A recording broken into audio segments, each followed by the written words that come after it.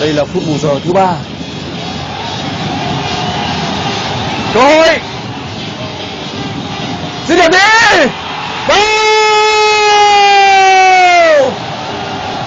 Huấn luyện viên Calisto luôn muốn tạo cơ hội cho những chàng trai trẻ của bóng đá Việt Nam.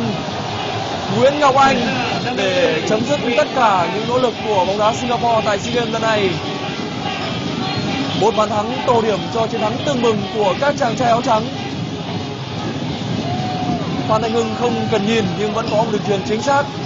Và Ngọc Anh không cần phải thực hiện một cú dứt điểm có sức mạnh.